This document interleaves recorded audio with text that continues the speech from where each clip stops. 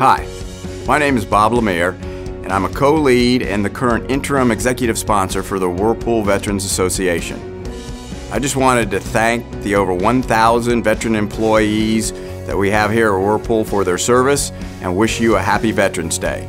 I also want to thank you for the leadership and the results-oriented approach you bring to your work every day here at Whirlpool. Thank you.